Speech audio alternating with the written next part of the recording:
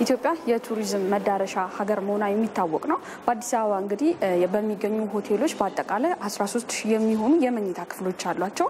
ይህም ማለት እንግዲህ አንዱ ሆቴል ከመቶ እስከ መቶ ሃምሳ የሚገኙ የመኝታ ቤቶች እንዳላቸው ነው መረጃዎች የሚያሳዩት። ከሰሞኑ ታዲያ በኢትዮጵያ የኮሮና ቫይረስ መከሰቱን ተከትሎ ከተለያዩ ሀገራት የሚመጡ ቱሪስቶችና ታላላቅ ስብሰባዎች በመሰረዙ ምክንያት እንግዲህ እነዚህ ሆቴሎች ኪሳራ መዳረጋቸውን ይገለጹልን።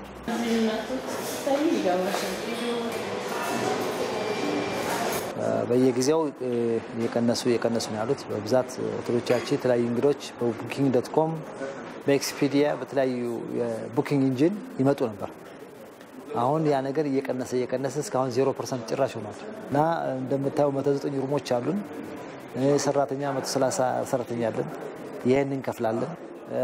የተጠራቀመ ፈቃድ አላቸው ሰራተኞች ሀያ ቀን አምስት ቀን እያለ ያንን በየደረጃው እየሰጠ ነው። ምናልባት አሁን ሪስ waiter ላይ ምናልባት በአንድ shift ሰባት ስድስት waiter የሚሆን የሚያስፈልገው ከሆነ በአሁኑ ሰዓት ሶስት ነው የሚያስፈልገን። እየቀነስን ፈቃድ እንዲወጡ እያደረግን ያለ ነው።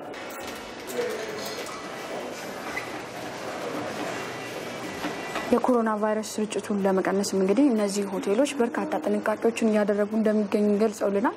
በተለይ ደግሞ ሌሎች ሆቴሎች ሆቴል ማለት ከሆስፒታል የማይተናነስ ንጽህና እንደሚፈልግና ሌሎች ደግሞ የሆቴል ባለቤቶች ጥንቃቄ ሊያደርጉ እንደሚገባም እነዚህ የሆቴል ባለቤቶችና ባለሙያዎች አሳስበዋል።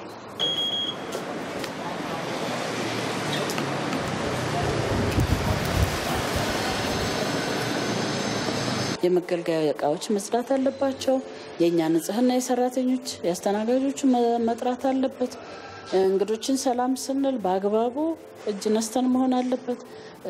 የመገልገያ እቃዎች ስንል የባርም ሬስቶራንትም room ውስጥም room ውስጥም ቢሆን እዛ ያለው ጽዳት ለየት ባሉ መልኩ ጥሩ ጥንቃቄ ሊደረግበት ይገባል። አሁን ደግሞ አብዛኛው በሽታው የሚተላለፍባቸው መሰረታዊ ምክንያቶች ከንጽህና ጉድለት እንደመሆኑ መጠን የትኛውንም እንቅስቃሴ በሚያደርጉበት ሰዓት የጤና ጥበቃ ሚኒስቴርና ሌሎች የሚመለከታቸው አካላት የሚሰጡ መመሪያዎችን በመከተል አንደኛ ራሳቸውን እንዴት መጠበቅ እንዳለባቸው፣ በሁለተኛ ደረጃ ደግሞ ራሳቸውን እየጠበቁ ደግሞ የሚያስተናግዷቸውን ሰዎችን እንዴት መጠበቅ እንዳለባቸው፣ ከዛም ከፍ ሲል ደግሞ ኢንዱስትሪውንም እንዴት መጠበቅ እንዳለባቸው በተለያየ መልኩ መረጃዎችን የመስጠት ነገር እያደረግን ነው ማለት ነው።